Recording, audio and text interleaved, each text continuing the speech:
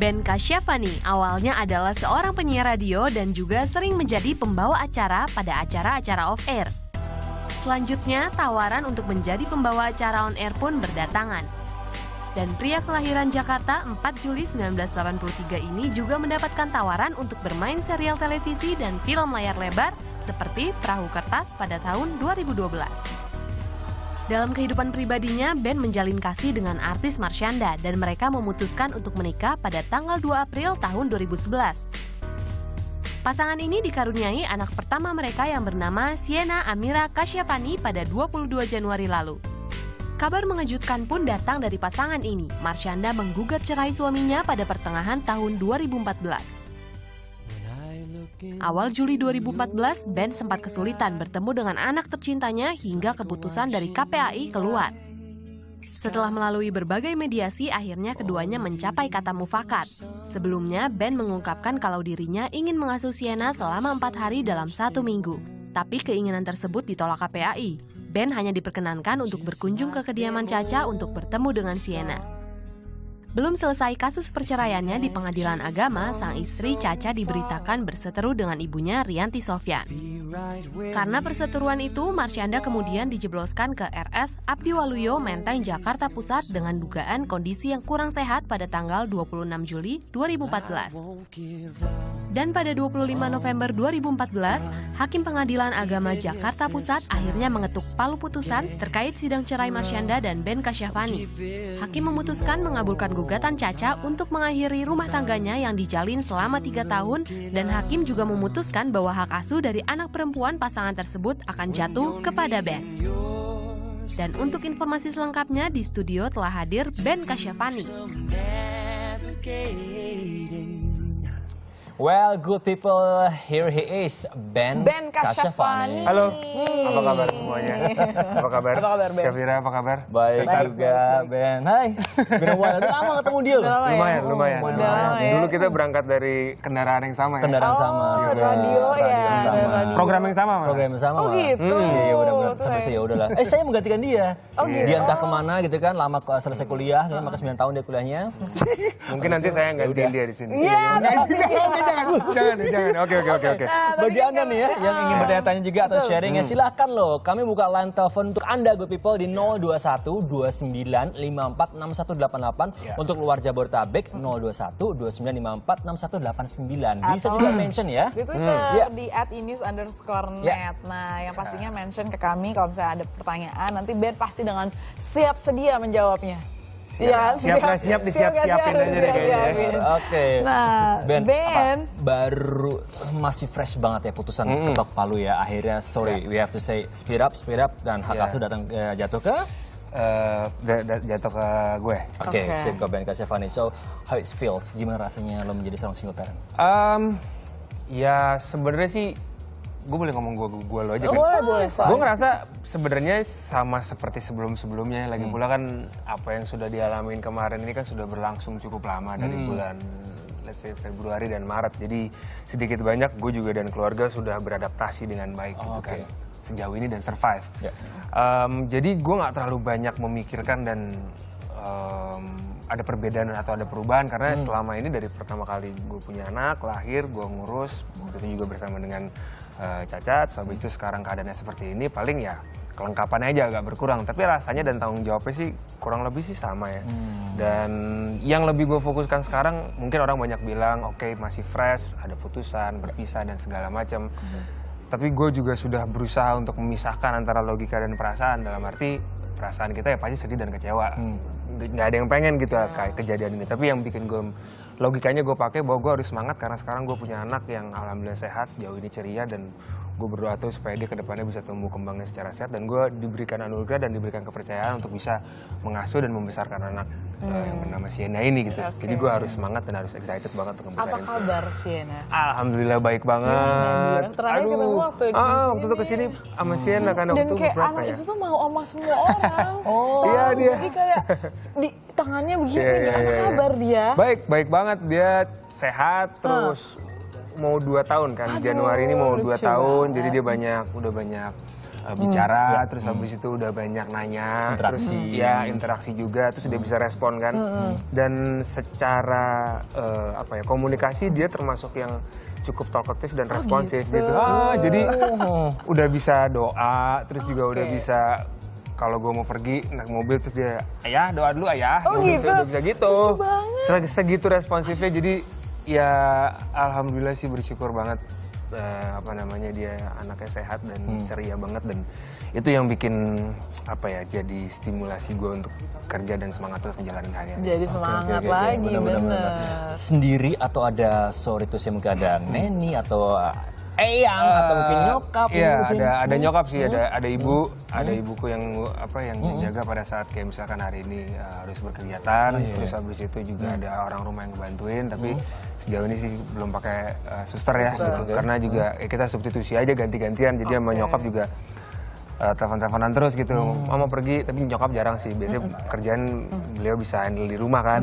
jadi kita selalu komunikasi lah, Ben hari ini di rumah, di rumah, gitu. Gimana? udah tuker-tuker, Tuker. Oh, balik. jadi siapa pun yang available bisa Benar, meng- mengurus Ya. ya. Langsung ah, ah. Ben, first thing first nih, Yeah. pas eh, oh oke ini jatuh ke tangan Hmm. seorang Ben gitu kan. Kepikiran apa sih menjadi single parent? Apa nih yang dipelajarin pertama kali menjadi orang tua buat yang pastinya buat karena Sienna ya? iya karena dulu waktu pertama Sienna lahir gue sama Caca juga eh, apa namanya banyak banyak banyak bekerja lah untuk bisa bagaimana em, bisa membesarkan Sienna dan kita belajar baca buku terus habis itu juga gue juga banyak belajar dari Caca dan Caca juga banyak perannya untuk untuk perkembangan Sienna sampai ke sekarang gitu jadi kalau ditanya pada saat putusan akhirnya eh, kasus jatuh ke tanganku yang pertama sih apa ya Belajar apa? Belajar. Masih inget nggak belajar apa? belajar oh em, bagaimana bisa memberikan pengertian kepada Siena sesuatu yang mungkin eh, kita larang karena itu juga mudah kan Oh, iya. bagaimana kita em, bisa memberikan pengertian membilang tidak tapi Jangan supaya dia gitu ya. ah, jangan tapi dia tidak mengartikannya sebagai sesuatu yang mengecewakan dia gitu. Walaupun memang kenyataannya ya pasti akan kecewa karena suatu hal yang dia pengen nggak boleh. Contoh let's say misalkan yang paling kecil anak kecil kan sekarang attach banget sama gadget ya.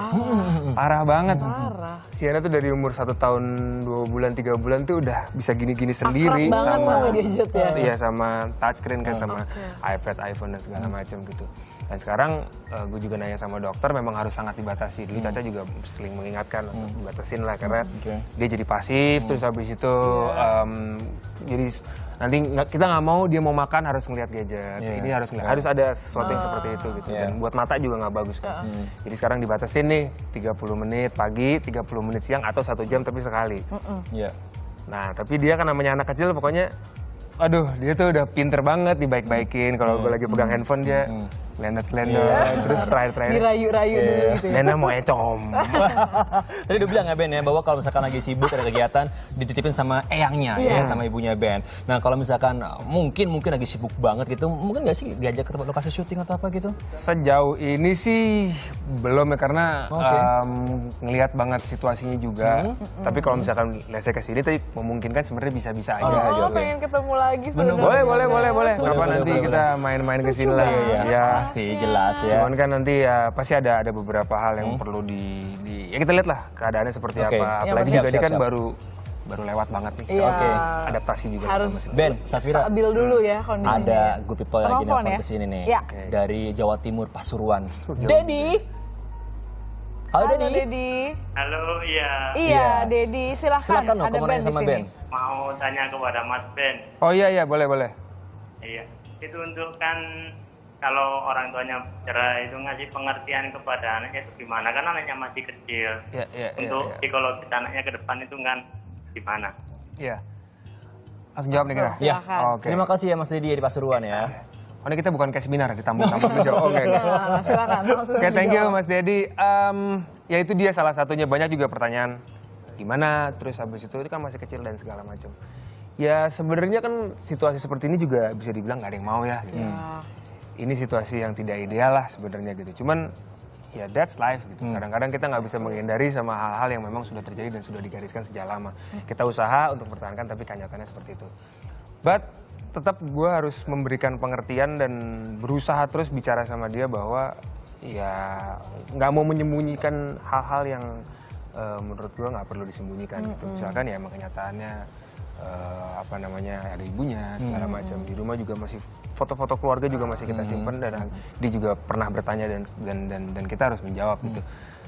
Ke depannya sih pada saat tadi dia sudah bisa berkomunikasi lebih baik, bisa berbicara dan eh, apa namanya bisa ngomongin suatu hal yang lebih lebih dalam seperti itu.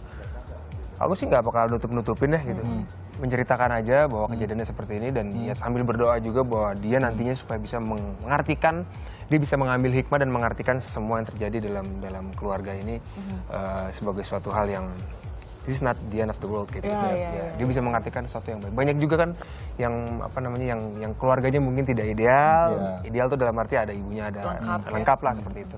Tapi juga bisa menjadi seorang yang hebat kan. Ya harapannya dibantu dengan doa dan kita juga apa attachment dengan anak eh, juga baik. Nanti juga pasti kan dia juga sangat perlu bertemu dengan ibunya secara rutin. Ya nanti kita lihat sambil adaptasi ke depan mudah-mudahan dia bisa mengartikannya eh, hal ini sebagai suatu hal yang menjadi pemicu dalam hidupnya untuk bisa menjadikan dia seorang manusia yang baik. gitu sih. Amin. Apalagi kan kalau misalnya kita ngomongin orang tua kan nggak ada bekas Betul ibu, banget, bapak iya. ada ya. Karena fungsi masing-masing pasti akan sesuai Ya. dengan kodratnya Ya, juga. Tapi pasti. mungkin sekarang tempat tinggalnya aja agak Iya. berubah gitu ya Ben ya. Ya gitulah Nah, terus situasi ya. situasi yang pastinya nggak nggak dipengenin sama semua orang apalagi yang menikah dan sebagainya. Tapi ya kita kalau ngobrol sama Ben, tadi saya nanya Ben tuh usianya berapa sih? 31 tahun. 31. 31 tahun dengan kondisi yang sekarang gitu ya. Em, se- Sienna pasti jadi salah satu penguatnya juga Iya, ya, pasti. gitu. Apa support eh, apa ya? Apa kalau Sienna udah pasti seorang buah hati dan sebagainya. Tapi support apa lagi sih yang akhirnya menguatkan seorang Ben Kasyafani? Akhir eh, maksudnya eh, untuk ke depannya menjadi seorang single parent juga Iya, iya. gitu. Atau mungkin udah plan ke depannya mau jadi Udah banyak seperti sih. apa Ben? Banyak sih. Em, ya selain Sienna pastinya orang tua Hmm. dari kemarin menghadapi segala macam yang sudah terjadi udah pasti jadi Hmm, salah satu faktor pentingnya. Gue ada apa namanya ada keluarga bokap nyokap yang bener-bener adik-adik juga Ya. yang bener-bener kasih support tuh wah, luar biasa lah. Hal-hal yang pada saat kita udah nggak tahu mau ke mana lagi kita bisa cerita dan akhirnya membuat kita jadi lebih semangat lagi. Terus teman-teman, saudara teman-teman manajemen ada manajerku juga dari dari manajemen yang apa namanya membuat situasi senormal mungkin lah gitu. Jadi kerjaan kita juga bisa jalan terus. Terus habis itu melihat ini sebagai suatu hal bukan hal yang harus dicurhatin terus, habis itu menjadi sebuah masalah ya ya emang nggak nggak enak cuman ya harus jalan terus kan. Iya. chill banget ya. Apa? Ya, maksudnya kayak mungkin kita, kita tahu, mungkin ya mungkin di belakangnya Ya. mungkin dia udah Ya, gede, ada orang ada lah, tahu gitu ada ya. lah, ada Tapi lah. ya itu ya fungsi seorang ayah ya kan yang akhirnya menjadi seorang Siena apalagi sekarang menjadi single parent gitu untuk tempat tinggalnya Siena. Itu dia kalau misalnya si ayahnya kuat pasti anaknya juga akan ngefek tuh. Bener. Efek psikologisnya juga pasti Pas, kan Soalnya kan ada. kita mengharapkan anak, misalkan kita, ya pasti kita membahagiakan anak kan. Betul. Tapi gimana caranya kita membahagiakan kalau kita sendiri nggak bahagia? Exactly. Kita gimana mau bahagia kalau kita nggak punya? Ben Kasyafani. Seru Ben, ya. ada lagi pengen tahu Rame nih. nih, Oh, gitu? Tanya nih. Iya. Ada yang nelfon Sudah lagi. nelfon nih ke Entertainment News. Ya. Halo. mesti perlu siap-siap lagi. Pertanyaan apa lagi? Halo, dengan siapa ini? Halo. Halo. Halo. Oh oke, Halo. nanti bakal coba lagi ya. Oke. Mungkin terputus dia. Mungkin dia saking takjub mau nanya apa lagi ya Bener, bener, sama bener. Ben gitu ya. Nah sekarang nih Ben setelah berapa, berapa lama berarti Siana udah ada di rumah sendiri? Eh, Maksudnya kayak Dari sekitar lebaran kali ya. Udah Dari sekitar lebaran Dua, kemarin. empat, tiga ya, bulanan tiga ada Tiga, ya. bulan ya, benar. Nah, Hmm. seperti apa sih Siana itu setelah Aduh, perubahan kabar sehat. Kayak apa karakternya Siana tuh kayak apa sih Ben? Dia tuh anak yang apa ya ceria banget sih. Ceria hampir banyak sama kayak gue gitu. Ekstrovert, terus habis itu sensing. Sensing itu bukan sensi, tapi lebih mengartikan segala sesuatu segala sesuatu dengan perasaan. gitu. Oh, oke. Sama gue juga. Maksudnya dia detail, dia ngelihat, dia kalau ada orang baru dia Perasa ya? perasa, dia ngelihat, dia perhatiin, oh ada kakak-kakak, dia datang ke gue, ada kakak-kakak, oke. Kenapa nih? Tapi gue harus membelajar apa? mem- me- membiasakan dia untuk ketemu dengan banyak orang kan. Jadi kalau kita lagi datang ke tempat main, ke tempat perosotan ya lo nggak sendiri, lo akan ketemu dengan orang banyak nih gitu. Kadang-kadang dia suka ngerasa, ngerasa threatening sendiri, gitu. dia suka memperhatikan. Terus ada kakak-kakak, iya ada kakak, kenapa? Nggak apa-apa. Dia ngeliatin kakak-kakak detail. Terus mukanya air mukanya agak berubah gitu. Tapi gue nggak nggak nggak gue tahan-tahan nih, gue biarin aja. Biar aja ya. Lama-lama dia jalan sendiri. Jadi sedikit banyak sih psikologisnya sama kayak gue sih. Kalau lebih ekstra. Wah, berisik-berisik kayak gitu. Ya kelihatan lah. Iya, seperti ayahnya juga. Iya, benar-benar. Tapi Nah, pinternya sih kayak ibunya udah jelas. Wow, Oke oke oke. Siap siap siap siap. Oke, Satu gitu. lagi nih mungkin saya jadi penasaran penasaran juga buat saya. Kalau misalkan ada nggak sih intensitas bertemu dengan ibundanya? Em, kemarin udah sempat ketemu sekali ya, cuman Dijadwalkan kah? eh, nantinya ke depan pada saatnya kita punya kesempatan untuk bisa mendiskusikan itu pastilah. Karena gue juga Oke. sadar, gue sadar banget sangat sangat sangat menyadari bahwa Ya. kebutuhan anak bertemu dengan kedua orang tuanya secara rutin dan Betul. ya keadaan ini keadaan yang paling ideal dari keadaan yang tidak ideal ini gitu. Kita akan usahakan supaya Sienna bisa sesering mungkin untuk bisa bertemu dengan ibunya dan itu aku bisa menjamin karena aku sadar betul sekali lagi Wow. Betul. untuk perkembangan psikologis anak. Dan kebahagiaan anak juga anak ya, salah benar. satu kewajiban juga Siap-siap luar ya. biasa. Calon orang tua di sini ya. Harus belajar banyak sama Ben ya kan. Nah Ben juga tadi sempat bilang bahwa dia ini juga lagi buka ini apa namanya lapangan kerja Oh iya, silakan hubungi nomor di bawah ini Neni mencari Neni laki-laki. Dan laki-laki juga ya. Harapan ke depannya apa Ben? Setelah melewati semua ini jatuh asu apa Iya, ke semualah tangan. semua yang terjadi ini. Heeh. Apa ya? Enggak, enggak terlalu muluk-muluk ya. Pengennya eh, kalau buat Siena udah pastilah kita berharap supaya Siena, aku sangat berharap Siena menjadi anak yang soleh, solehah udah pasti dia sehat. Semua kita apa kita ucapkan dalam doa pastinya kan. amin. Dia bisa tumbuh kembangnya juga sehat dan nantinya kan ya sedikit banyak dia nggak tahu ya harapannya mungkin tidak terlalu detail. Cuman kita tahu sekarang media kan lo bisa akses dari mana aja dan segala macam. Anak kecil juga udah melek media. Bisa memberikan pengertian bahwa ya ini adalah hidup dan kejadian ini mudah-mudahan bisa diartikan sebagai suatu hal yang eh, malah membuat dia ter, ter apa ya? Jadi trigger ya. ya trigger untuk bisa lebih baik lagi dan lebih baik lagi. Dan untuk keluarga dan juga untuk teman-teman di sana supportnya untuk Ya. tim lawyer yang kemarin udah kerja ah udah luar biasa terima kasih banyak supportnya semua Iya iya, benar-benar. Lawyernya harusnya ngundang saya dong. apa Oh iya lawyer harusnya. Ini saya juga lawyer Pak. Iya iya Jangan gila lawyer gitu. sesama kucing gitu jeruk nggak makan jeruk Oh ya. iya benar-benar. Kita doain ya, mudah-mudahan Benny semuanya Amin. ya sukses jadi seorang orang tua yang baik Amin. walaupun sendirian ya kan, pekerjaannya lancar, nggak menutup kemungkinan new life juga new Hopefully, life hopefully. semuanya dan yang pastinya nih ya tetap berkarya di berkarya di dunia hiburan. Itu Amin, dia. amin, amin, Gitu amin. Alrighty, well, Ben Kasyafani, thank you very much Terima for coming Ben. ya. Thank you. Terima kasih sudah Sama-sama sharing juga, ya. Ya. pengen ketemu kapan-kapan ya. Terima kasih banyak. Terima kasih juga buat ini berita-berita baiknya kemarin. Wow, Amin. pasti dong. Alrighty, so good people, terima kasih ya sudah menyaksikan obrolan kita dengan Ben Kasyafani.